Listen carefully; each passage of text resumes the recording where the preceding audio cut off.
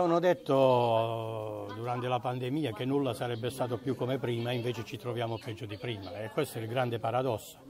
Una situazione in cui proprio la mancanza di strutture, di servizi sul territorio ha determinato condizioni peggiori per quanto riguarda la pandemia, a pagarne le conseguenze sono stati maggiormente gli anziani, che sono quelli che hanno più bisogno di cure, di assistenza. In Puglia il 10% delle persone rinuncia a cure necessarie a causa dei tempi di attesa troppo lunghi oppure perché non può permettersi l'accesso a pagamento ai servizi. 378.000 famiglie in Italia si impoveriscono per affrontare spese sanitarie irrinunciabili e la CGL Puglia, insieme al sindacato pensionati nel corso di una conferenza stampa, a denunciare il rischio di un collasso del sistema sanitario sanitario nazionale e regionale. Al centro dell'incontro le iniziative che saranno messe in campo a difesa della sanità pubblica a fronte del rischio default paventato dalle regioni stesse per migliorare i servizi di cura e assistenza in Puglia e per ricordare i tanti deceduti a causa della pandemia, con gli anziani i più colpiti, ai quali sarà dedicata un'iniziativa pubblica il prossimo 31 marzo,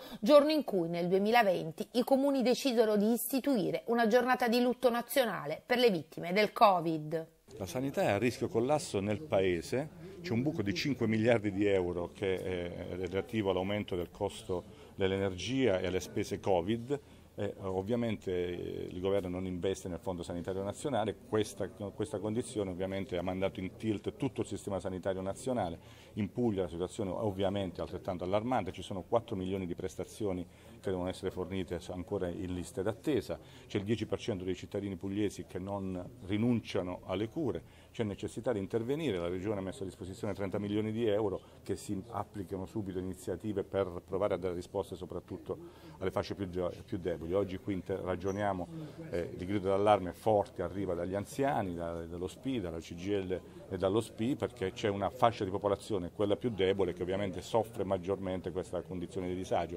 C'è bisogno di intervenire sul fondo sanitario, c'è bisogno di mettere nuove risorse, dal combinato disposto tra autonomia differenziata e mancanti investimenti sul Fondo Sanitario Nazionale, soprattutto nel Mezzogiorno, farà pagare il prezzo più alto rispetto a questa condizione, dove a parità di condizioni Emilia Romagna Puglia, il personale ovviamente, gli investimenti sul personale sono più scarsi, gli interventi di spesa sanitaria più scarsi, ci sono costi elevatissimi sulla